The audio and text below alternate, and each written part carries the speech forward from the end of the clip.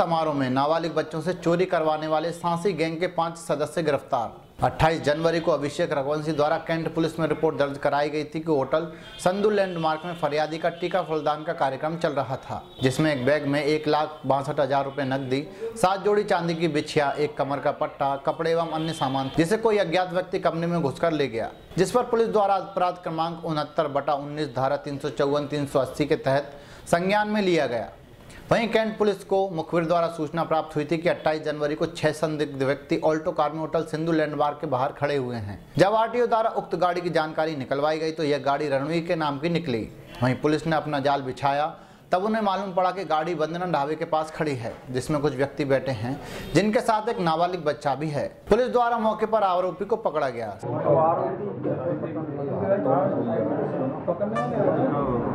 जिन लोगों ने काम वाम किया।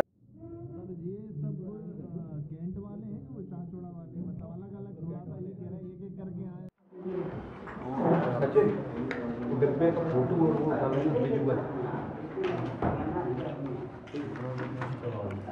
कैंट थाना क्षेत्र अंतर्गत कुछ दिन पहले जो है वो एक लाख पैंसठ हज़ार शादी के हॉल में से चोरी हुई थी।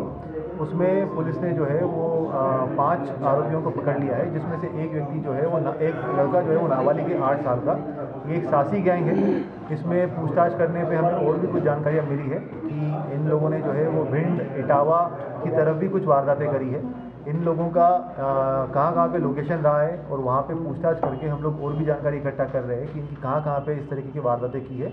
प्रयास प्रयास ये है कि ज़्यादा से ज़्यादा वारदातें जो है वो खोली जाए और ज़्यादा से ज़्यादा जो है वो रिकवरी सर नाबालिग बच्चे को लेके कैसे रेकी करते थे ये लोग शादी ब्याह में? ये बेसिकली आठ साल का जो बच्चा था ये पहले इसको बच्चे के साथ में एक व्यक्ति को भेजते थे शादी हॉल में और उसके बाद में फिर ये रेकी करके आता था कि किसके कौन जो है वो मेन दूल्हे का दुल्हन का पिता या दुल्हन की माँ है और उसके पास में कहीं पे कुछ अगर पैसा वैसा रखा हुआ है, कोई बैग है तो वो एक बार रेकी करने के बाद में, उसके बाद में फिर ये जाते थे और वहाँ से वो बैग वैग जो है वो चुरा के लेके जाते थे।